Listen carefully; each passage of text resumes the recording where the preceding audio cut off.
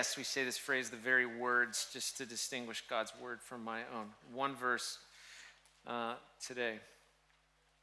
Keep your life free from love of money and be content with what you have, for he has said, I will never leave you nor forsake you. You could be seated. We are uh, the third sermon into a four week series called Making Kingdom Choices. And we began that series simply by saying that in order to make kingdom choices, you have to have a kingdom mindset. And a kingdom mindset is really framed by four questions. Number one, who am I? Four questions that everybody has to answer. But if you're a Christian, the answers to these questions are all through the scriptures, but we use Colossians 3 as our as our text to answer these questions. So, who am I? The answer to that question as a believer is simply I am someone who's been raised to walk in new life with Jesus. I have a completely new identity because I've confessed with my mouth that Jesus is Lord, believe in my heart that God raised him from the dead. So, who am I? A raised follower of Jesus. I have a new life. Question number two Who is the king? It's the question everybody has to answer in life. Who is the king?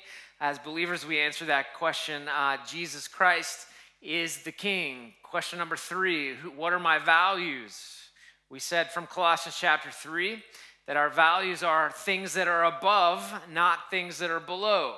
Jesus would call things that are below things that would pass away, that wouldn't last very long, but things that are above, things that are eternal. He's, Jesus said things like this like, don't don't invest uh, treasure on earth where moth and rust destroy, but instead store up for yourselves treasures in heaven. It's the above, below, I mean, yeah, below, above concept. And so that's what happens when you get your nonverbals and your verbals all mixed up at once. Anybody ever done that? No? I did. So, uh, and so things that are above versus things that are below. And then the last question, where is my hope? So everybody's got to answer this question, where is my hope? And our hope as believers is in the simple fact that we will share in the inheritance of Almighty God. We will rule and reign when Jesus returns. That is the hope of the scriptures, the hope of the gospel. Now, all that, if if I'm a if I'm a new, I have a new life in Christ, that Christ is the King, my values are things that are above, not things that are below, and my hope is in the return of Christ then I, then I make decisions or I make choices based on that mindset, based on that lens. And today, we, uh, last week we, we talked about family. Today we come to the concept of money. One of the things that I like to do when I'm talking about a topic with church is I'll just Google like American Christians and whatever the topic is. And I did that with money. And the, and the it's interesting because you, you get to see sort of the internet's view of what's most important about, or at least Google's view of what's most important about American Christians and money. And what comes up is actually disheartening. And what's disheartening about it is that it propagates a false gospel instantly, what I would call uh, a money cult among the Christian, the American Christian culture. And the idea of that money cult is that if you are a believer in Jesus Christ, and if you just believe enough, you will be blessed. And the idea behind blessing there is that you will have a lot of money. Now, our lives, most of us, will prove that just because you confessed Christ doesn't necessarily mean you will have a lot of money. Who's with me? Come on. It, it, it's not the same for everybody. Jesus is the same, but money is not equal to the confession of Christ. And so it's a false, it's a false gospel, right? It's this idea that Jesus equals money is very American, very false. Like if I can't take a if I can't take the gospel and and and make sure that it's going to work sitting on a rock with some Bedouin in, in Sudan, if it doesn't work there, it's a false gospel, right? So there's no promise of money with the gospel of Jesus Christ. So I hope everybody hear this. So, so, so the financial pr- prosperity in and of itself does not equate to the blessing of God, and poverty in and of itself does not equal a sin or a lack of blessing. Okay? Um, it's important for us to, to understand one time I was in uh, Ukraine about 20 years ago, and I was I played soccer. I shouldn't have because I was playing with people that are really good, and I was really retired. But I played uh, soccer with uh, these guys, and I herniated a disc in my back. L4, L5, S1. I, will never forget. It. You don't forget that. And so uh, they laid me up in a house until this trip was over. It was a simple house, and I laid in this living room, and they, there was a TV, and I, I, had like two days before we, we were all leaving, and so I just had to wait because I could I could barely walk. And the only thing that was on TV in English in Zhytomyr, Ukraine, was the tele, tele the the I think it was TBN. You know TBN, right? All these TV preachers. And it was like, it was false gospel, false gospel, false gospel, because it was just over and over again. It was saying, like, if, if you will just, if you will just uh, receive Jesus, you'll just have enough faith and you'll have money. And I'm thinking, that doesn't work in post Soviet Ukraine in those moments. It didn't work. That's a false, false gospel, right? So we don't take our money and equate it as either, either blessing or curse. There can be really bad people with a lot of money, right? So hear that for what it is, and let's start this way. So I'm going to give you three principles as it as we come to making kingdom choices when it comes to uh, money. And the very first one I'm going to call the principle of contentment. And this is from Hebrews chapter 13, verse 5. We read it, I'll read it to you again. Keep your life free from the love of money and be content with what you have for he has said, I will never leave you nor forsake you. This is the principle of contentment. The principle of contentment says that we find contentment in the presence of God, not in money. We find contentment in the presence of God, not in money. So we love God, we don't love money. It's not our pursuit. It's not our main pursuit. It's not our main passion. Uh, the love of God is our, our passion. If you go on in this scripture, you find out that your security comes from the presence of God, not from money. And I just think as American Christians, we get this one a little, a little jacked up in our thinking. Because a lot of times we think if I can just get this much money or that much money, or if, if, I can find contentment if I can move from this neighborhood to that neighborhood, or gain one more sort of material possession, you fill in the blank.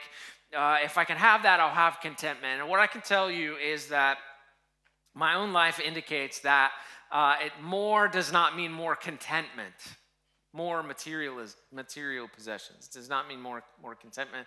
And talking with some very very wealthy people i would find that you can be very very wealthy and have many houses and not be content.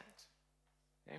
so so contentment whether you have a lot or you have a little is found only in the presence of god uh, sometimes when we have a little, we focus on the fact that we have a little. It takes our eyes off Jesus, and we lose a sense of contentment because we're focused on we only have this much. Our contentment doesn't come in how much we have or how little we have, it comes in the presence of God, right? And so this is where we find our contentment, and this is the principle of contentment. It's focusing on things that are above, not things that are below, right? Second principle the principle of the widow's mite. Now, I'm going to read from Mark chapter 12, 41 to 44, but let me just set the stage with you. Jesus has his disciples, they're sitting outside the treasury of the temple.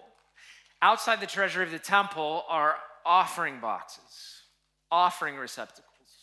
What's happening is that they're just watching as all these people are coming by and they're making their offerings. Some of them are making big offerings, and everything is coins. They're still digging up coins from uh, that time period right there at the, the treasury. They find them over and over and over again.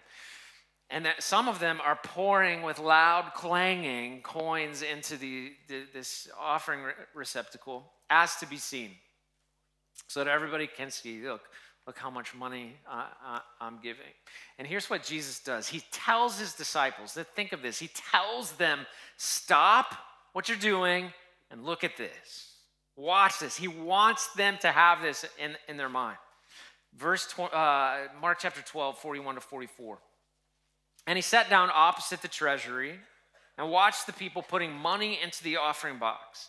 Many rich people put in large sums. And a poor widow came and put in two small copper coins, which make a penny.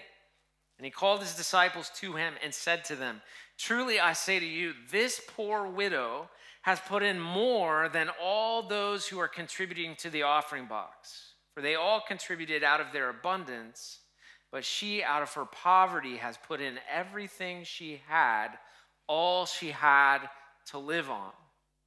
So here's the principle of the widow's mite. The principle of the widow's mite would say to us it's not that God wants a percentage of your money, it's that He wants your whole heart. He doesn't want a percentage of your money, He wants your whole heart, as evidenced in this passage of Scripture. Some rich people were dumping lots of money in. He doesn't point them out, He points the widow out who puts in what's equivalent to one penny or everything that she has. And he says, that is what it's about. He doesn't want a percentage of your money, he wants your whole heart. Harkens back to Deuteronomy chapter 6 when, when we learn we should love the Lord our God with all our heart, with all our soul, with all our might. It's, money is never about money for God. Do, do you realize this? That God does not need your money. He has it all, everything he needs. He, he does not need one thing from us. He's not dependent on anything that I would ever do for him. He does not need my money. What he wants is my heart. And here's the thing it's, it is just true. You can follow someone's money and find their heart. That's just true. It doesn't matter how much or how little. The widow is a great example. Follow her money. Where's her heart? Right? And so that's the principle of the widow's mite that he doesn't need a percentage. He doesn't want your money, he wants your heart. It's not about the am- amount of money, but, but whether or not he has your whole heart. Here's the third principle. I'm going to call it the principle of cheerful giving. This comes from Second Corinthians chapter 9, 6 to 8. Again, let me set the context. Paul is writing to the church at Corinth. To the church at Corinth, he is saying to them, among other things, hey, there are Christians in Jerusalem. Let me just be a master of, uh, of the obvious. Corinth is far away from Jerusalem. So, this church of Corinth is not like raising money for themselves. They're now raising money for Christians that are in Jerusalem. Now, Paul's appealing to them in these verses to make a kingdom investment, a cheerful kingdom investment, because the gospel started in Jerusalem and it went out from there, and we should continue to see the gospel flourish in Jerusalem. And then we come to these, these the scripture, Second Corinthians chapter 9, 6 to 8. The point is this Whoever sows sparingly will also reap sparingly, and whoever sows bountifully will also reap bountifully. Each one must give as he has decided in his heart, not reluctantly or under compulsion, for God loves a cheerful giver. And God is able to make all grace abound to you, so that having all sufficiency in all things at all times, you may abound in every good work. This is the principle of cheerful giving. Now, as I was laying in that, uh, that room in Ukraine. You remember, have you tracked with me? Remember that story from 10 minutes ago? So I'm, I'm, I'm in the, that floor of that hotel, I mean, that house, and my back is killing me, and I, I'm laying on a mat in the floor watching this TV, and this person says, if you will give, I think it was $1,144.44. If you will give $1,144.44 right now, I will send you a prayer cloth. And I was hurting. I was thinking to myself, I could use one of those prayer cloths right, right now. But this guy was like compulsive. He's like, if you don't have $1,144.44, if you have you know, $114.44. If you don't have that, then if you have $11.44, then you send it right here, right now. And I'm going to pray for your healing. You're going to sow a seed, which they get, they get this idea from this, this verse. If you what you sow sparingly, you reap sparingly, and all, all that stuff. You sow a seed, and you're gonna you're gonna find healing, or you're gonna find what you need. You're gonna find favor with God for eleven dollars and forty four cents, or one thousand one hundred forty four dollars and forty four cents. And I remember thinking, I also have my Bible there. I was reading the Gospel of Matthew at the time, and I came across, or I thought about that widow's mite thing again. It's like she couldn't afford, she couldn't afford God's grace and this whole whole thing. She only had a penny. So what does she, what does she do? You know, it's just such a such a false false gospel. So the idea of sowing and reaping that is focused on in this passage, the passage is really about giving cheerfully. It's really about giving not on because of reluctance or some kind of compulsion, like you've been guilt motivated to give, but it's giving cheerfully because of God, because of who He is, because we have a we have a kingdom mindset, and we sow that we're gonna reap bountifully. Now, people want to fill in that blank, like you know what? If you give hundred dollars today, I promise in the next 30 days you will get $1,000 back. That is wrong. The text simply says that if, if you sow sparingly, you'll reap sparingly, and if you sow bountifully, you'll reap bountifully. And it finds its fruition in verse 8 that says that you may abound in every good works, that God is going to be sufficient, and your reaping is going to be the reaping of your abundance in good works. And sometimes that involves money but it, whatever it involves, it's deeds in honor of the glory of God for the expansion of his kingdom. Right? So, so give cheerfully and understand this is the principle of cheerful giving. He's not saying give to get, he's saying give to be abundant. Now, um, I don't know if I just messed you up or, or not. Like, I'm not going to tithe anymore because I, I was hoping that I would, you know. But he's, we're taught to, to give cheerfully. Okay, those are three principles. Now, uh, let's talk about then, if those are uh, the, the, the principle of contentment, the principle of the widow's mite, the principle of cheerful giving, if those three are real and true and right according to the scriptures, then what are our responsibilities when it comes to money and making kingdom decisions. And I just want to make some general observations that I think are really practical when it comes to, to you and, and me. Now, the first one is this like, our first responsibility has to be to understand that we need to work for money. We need to work for money. Um, there's a rhythm in the scripture, we usually focus on it by way of Sabbath, right? That rest. Listen to this Exodus 23 12. Six days you shall do your work but on the seventh day you shall rest, that you, your ox and your donkey may have rest, and the son of your servant woman and the alien may be refreshed. And oftentimes we'll use this to say, look, we need to practice Sabbath principles, which we do one day of the week. But do you know what the other six days are? Work. Work. Now, yes, this is an agrarian society. That means they're going to be working the the fields or they're going to be you know tending their vineyards they're going to be working with the sheep and the goats all those kinds of things but it still led to economy those six days.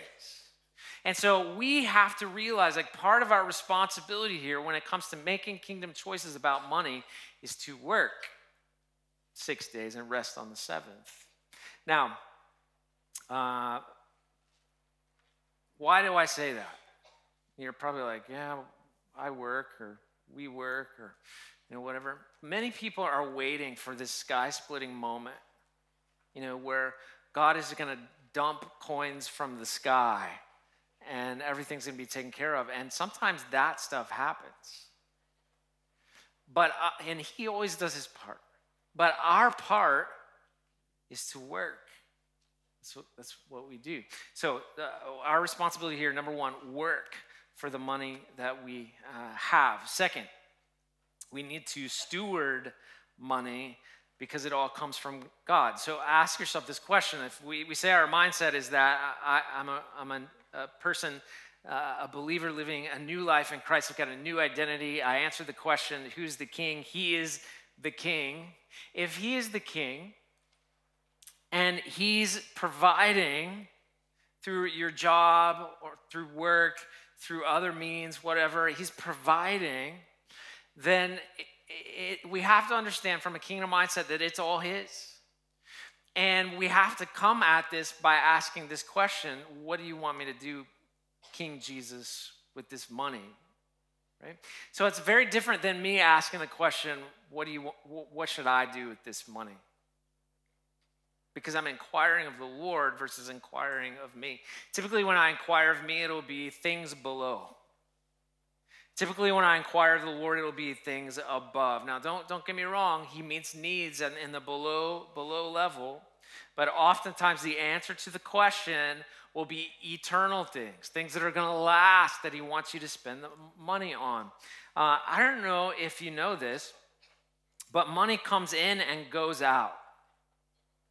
It doesn't matter how little or how much. It comes in and it goes out. So if you just hold your hands like this, like you will have whatever money comes in for, for a moment and then it goes out, right? A millisecond or whatever. It may be gone before you get it for some of you. I don't know. But you you have it for a second.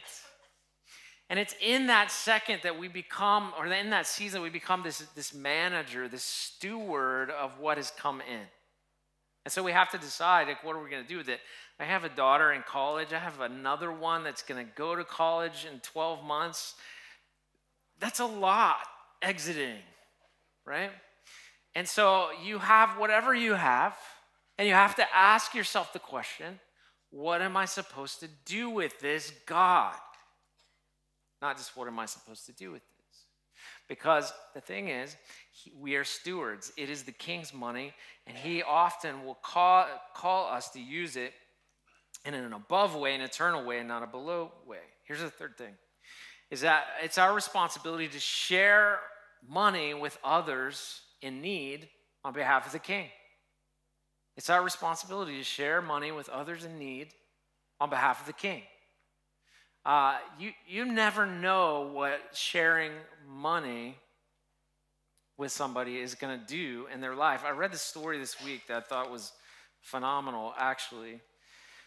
it, uh, it comes from an ABC News affiliate in, in New York. They picked up this story from Georgia, and there was this kid, 19 year old uh, student, Fred Barley. He was living in a tent in Georgia on Gordon State College, which is in Barnesville, Georgia. is a little school there. And uh, the police were called by somebody. Probably he might have been up against an H- HOA or something. I mean, nobody wanted this tent wherever, wherever it was. And so this kid was getting ready to get evicted by the police officers. The police officers show up and uh, they, they, as normally they do, they ask, what you, what's going on? They hear the story, and, and the police officer reports, the story goes like, like this Barley had ridden six hours from Conyers, Georgia on his little brother's bike. Have you read, ridden a little kid's bike lately? I mean, like, your, your knees are like up by your ears on that thing. And, you, you know, it's hard. This kid, six hours from Conyers, Georgia, on his little brother's bike, carrying all his possessions a duffel bag, a tent, two gallons of water, and a box of cereal in order to enroll in his second semester at, at the school as a biology major. He arrived early before the semester to look for a job, but didn't have any luck. The officer, whose name is Richard Carricker, told ABC New York, This is crazy. I can't arrest this kid who rode his bike and has a box of cereal and two gallons of water. So he was moved by it, and he and his partner put, put the student up in a, in a motel on their own dime. So they were, they were generous. They got him a motel room, they, they shared, they put him up for a night. Um, and then they began to tell the story, and word spread. Some people donated clothes, school supplies, funds to cover the rest of the motel stay so he could stay longer. He got a job at a local uh, pizza place, and his life, you know, began to have a little bit better hope than just a tent off campus. And then there was another lady named Casey Blaney of Barnesville who heard this story and, and started a GoFundMe uh, page for Barley after spending time with him. And her quote is I thought this kid just rode a 20 inch little boy's bike six hours in 100 degree weather. Somebody's got to help him. So she started this page, which raised $184,000, all of which is going to an educational trust for this student, Fred Barley, to pay his tuition, room, board, expenses, all, all that. Now, I hear a story like that, and I'm thinking about that police officer who goes, I'm not going to arrest this kid. I'm going to take my own money. I'm going to put, that looks very much like the story of the Good Samaritan to me. You know, I'm going to take my own money, I'm going to put this kid in a motel, and I'm just going to tell people about it, see what happens. $184,000 later, this kid has a way to go to college. So you, just never know how sharing what the Lord has given you will make a difference. Uh, just this week, Angela and I and Haley actually were in the med center, and I came out. I, was, I, I kind of let Angela off and went to park, and then uh, Haley was still with me, and I was going to point her down the street to a coffee shop where she could study while we were doing our doctor stuff. And um, this man, sort of, we came out onto the street, and there was a, a man sitting there, and he's like, Can I ask you a question? I was like, Oh, great. Because I've done this before, and I end up buying like Subway for 200 people, and you know, all that kind of stuff. And so this guy goes, um, I need a dollar twenty-five. Like, what can you get for a dollar twenty-five these days, right? It was a very odd request. So I, I said, Hey, tell me why you need a dollar twenty-five. And he, he just said, I need to get on the train and go to the, the VA. He was about probably 65 years old. And something like that, somewhere in there. And, and so I'm like, I don't have any cash, but I can take you to the little automated automated thing and buy you the ticket, put you on the train so you can go to the, the VA. Okay, I kept expecting there to be a catch, you know, because I typically think, oh, he's going to use that $1.25 to go buy cocaine, which you can't buy for $1.25. you know, and so so I was processing like, no, he's not going to buy cocaine. You can't get cocaine for a dollar twenty-five, right? And so I took him and I just said, hey man, tell me your story. As we we had to walk like two blocks to this this thing, and he goes, I don't want to tell you my story. I'm afraid you won't buy me the train train ticket. And I was like, I'm going to buy you the train ticket. Just tell me your story. He goes, Well, I've been in jail. I actually got a physical coming out of jail. My blood work's all, all messed up. And so I, they sent me to the VA because I'm a veteran. And I've been in jail for a year in Galveston. I was like, Huh, I know the Galveston jail. Tell me, you know. And he knew all the right people, places. I knew he'd been in there. And uh, I, I listened to his story, and he wasn't a Christian, but, you know, trying to find his way and all that. And so I buy him the bus ticket, and we get done, and I say, "Hey, can I just pray? Can I just pray for you?" And uh, this man was like, "Well, I won't turn down any help from anybody, not, not even God at this point." You know, and I said, "Okay, let me pray for you." And I put my hands on his shoulders. I don't think anybody had touched him in a nice way in a long time, you know. And uh, I just put my hands on his shoulders and I prayed for him, maybe like three minutes. And in the middle of the prayer, I feel him just like starting to, you know, like a guy does when he doesn't want to cry, but he's starting to cry. And he was he was doing that whole thing. And I prayed, it got done, and he said, uh, I, I really appreciate the light inside you. That's what he said. And I said, Well, I just want you to know that's the spirit of Jesus. Because uh, honestly, I probably wouldn't have walked across the street other than Jesus to buy you a train ticket. I'm sorry, I'm not that good a person. But Jesus is. And he was like, oh, man, thank you, thank you. And he got on the train and he left. I have no idea what the end of the story is. But you know what I knew my part was? Spend the dollar twenty-five, pray for him, tell him about, about Jesus. Right? Uh, could be the best dollar twenty-five I've ever spent in my life. I have no idea. I have no idea. But when you share like that, God does things. I don't know why or how or all the ways He works, but He, he, he does things. And so we always need to share money with others in need on behalf of the King. Leviticus chapter 23, verse 22, here's what it says. It's going to sound weird at first, but I'll explain it.